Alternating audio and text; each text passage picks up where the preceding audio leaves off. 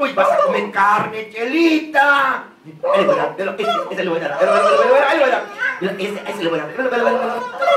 Ese lo a